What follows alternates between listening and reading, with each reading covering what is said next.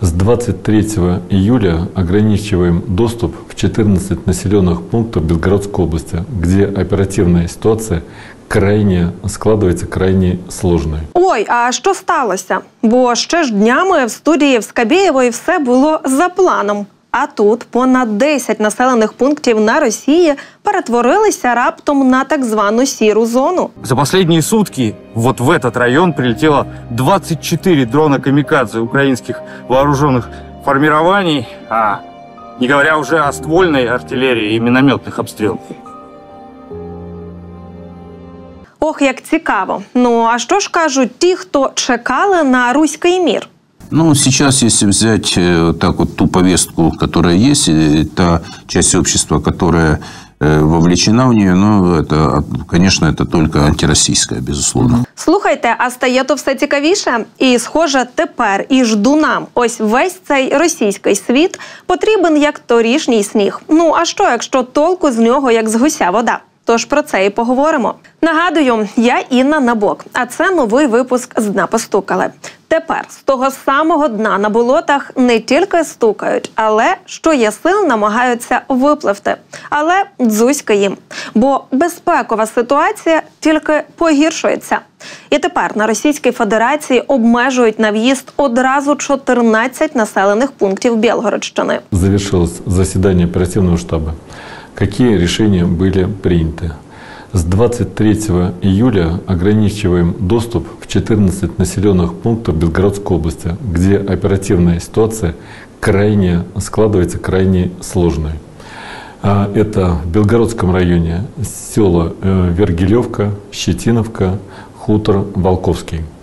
В Борисовском районе Багун, городок. Гороворонский городской округ, село Безыменно, поселок Горьковский.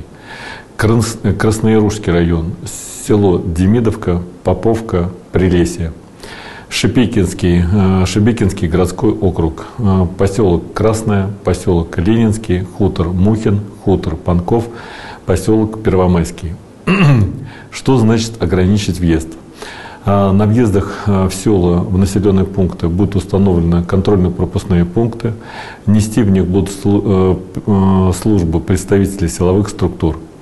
Мы э, построим, поставим бетонные модульные укрытия для обеспечения безопасности э, э, тех, кто будет нести э, службу. Въезд общественного транспорта, в том числе такси в эти м, населенные пункты, будет запрещен.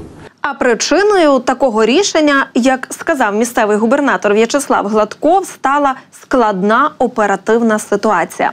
Тож тепер ті, хто закликали бомбити українців і кричали Нас не побідіть, вимушені покидати власні домівки. Причому хочуть вони виїжджати чи ні, їх ніхто не запитує. Если жители захотят приехать, то необходимо будет подать заявку главам сельских поселений или главам муниципалитетов. Пропускать будем только взрослых мужчин в бронированных автомобилях э, с рэбом в индивидуальных средствах защиты, бронежилетах и касках в сопровождении военных и представителей муниципалитетов, в том числе самообороны. Я надеюсь, что вы согласитесь женщин и детей, безусловно, пускать в населенные пункты, которые каждый день обстреливаются, э, э, э, недопустимо. Неприпустимо це досі не робити нічого, щоб припинити цю страшну війну, яку розпочав ваш кремлівський диктатор. Бо, на жаль, більшість тих, кого сьогодні примусово виселяють з власних осель на Білгородщині, так і не зрозуміла, в чому проблема і хто ж винен у всьому. У всьому, ось в цьому. Это Шепетинский городской округ. Здесь до границы с Украиной всего пара километров. Вот такая картина здесь, к сожалению, уже привычна. Разбитые машины, разбитые детские сады, школы и, конечно, жилые дома. Здесь всего полторы тысячи жило, осталось всего несколько десятков. Остальные эвакуировались или погибли. К сожалению, статистика такова, что за последние сутки вот в этот район прилетело 24 дрона камикадзе украинских вооруженных формирований, а не говоря уже о ствольной артиллерии и минометных обстрелах. Тепер кремлівські журналісти, які раніше раділи обстрілам українських міст, знімають репортажі з понівечених та обстріляних, але вже російських.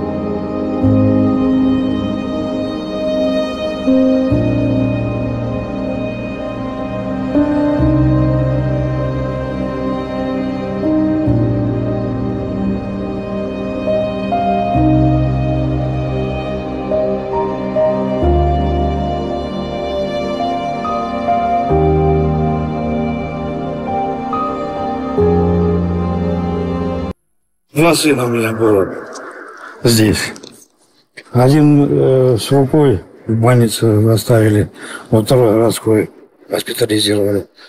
А старший с контузией, ну, нужно сейчас подъехать. И вот отпустили из больницы. Як бачите, всю цю красу свого ж грузького міра тепер побачили і жителі Білгородщини, але традиційно звинувачують у всьому нас. Тобто, як вони люблять казати, київський режим. под огонь э, боевиков киевского режима попали несколько многоквартирных домов. Вот с той стороны, где упали снаряды, выбиты практически все окна, э, осколки залетали внутрь квартир, но здесь вот жители не пострадали. Также э, под огонь артиллерии попали несколько многоквартирных домов, около 10 автомобилей. А, Свои сложности создает вот как раз сухая, жаркая погода. После взрыва возникает возгорание. Ну а далі ще цікавіше, бо після всього цього бридкі і нікчемні путіністи заявляють, що Україна взагалі має припинити своє існування. Але українці мають стати росіянами. Украина не должна существовать, но это не значит, что мы должны уничтожить украинцев. Это логичная часть нас. У меня товарищ есть англичан, он говорит, ну слушай, я не могу различить русского от украинца. Чем они отличаются? Я говорю, ну ничем вообще. Украинцы те же самые русские, просто нацисты. І як вам? Це російський актор Іван Охлобистін відповів на питання журналіста про стосунки з українцями та про те, чи варто було взагалі розпочинати повномасштабне вторгнення. Щоправда, тут доречніше буде сказати так, путініст Охлобистін геть злетів з котушок. Але чому тут дивуватися, якщо ми знаємо, що він часто несе усіляку маячню та ахінею? Хоча напишіть у коментарях, що ви думаєте з цього приводу. Ну і поїхали далі.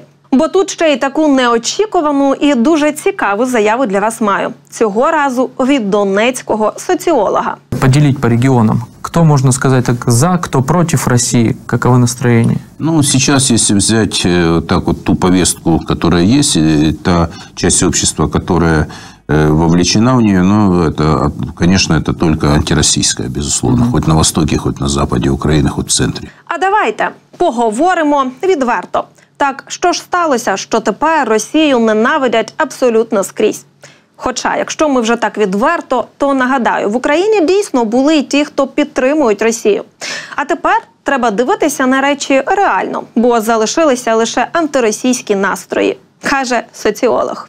Давайте говорить откровенно, что население Украины, то есть, как бы, вернее, Украина как руссо- антирусский проект, она сформирована. И не сегодня, не вчера, я какое-то время назад, несколько лет назад был в вашей студии, говорил, что не надо строить иллюзий. Если со страной, с территорией не работать, то ничего не будет. А сейчас э, ситуация вообще в, в корне изменилась после, ну, после февраля 22 года. Поэтому давайте говорить так, что, безусловно, э, вы говорите там родственники, кто смотрит, кто слушает, ведь многие связи оборвались. Еще за долго до там, второго Майдана или перед вторым Майданом, когда я могу сказать, это вот была точка водораздела, это, вернее, был водораздел, после которого ситуация пошла безвозвратно.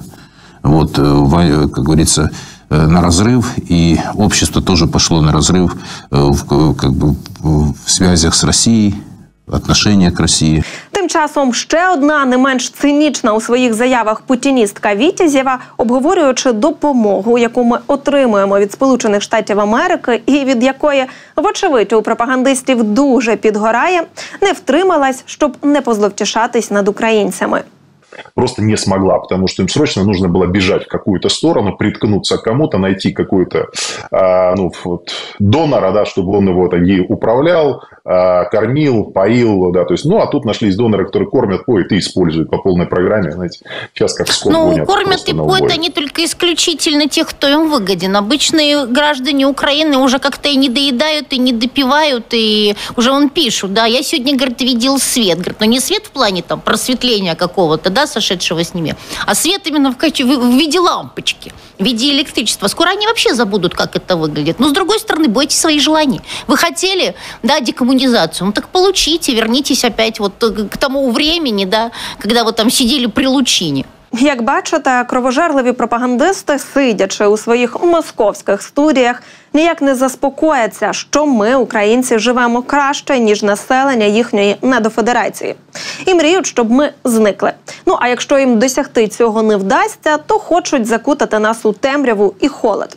Тобто вони дуже хочуть, щоб і ми не мали того, чого немає в половини населення Ерефії нормального цивілізованого життя. Тож це свідчить про те, що нам з вами своє робити. А це означає продовжувати підтримувати Збройні Сили України донатами і, звісно, вірою в нашу перемогу. У мене ж на сьогодні все, але ви ж знаєте, на болотах не буває ні дня без абсурдних новин і заяв. І повірте, цинізм і нікчемність російської пропаганди не мають межі. Тому хто знову постукає з дна, розкажу в наступному випуску. Бережіть себе, бережіть Україну, і побачимось.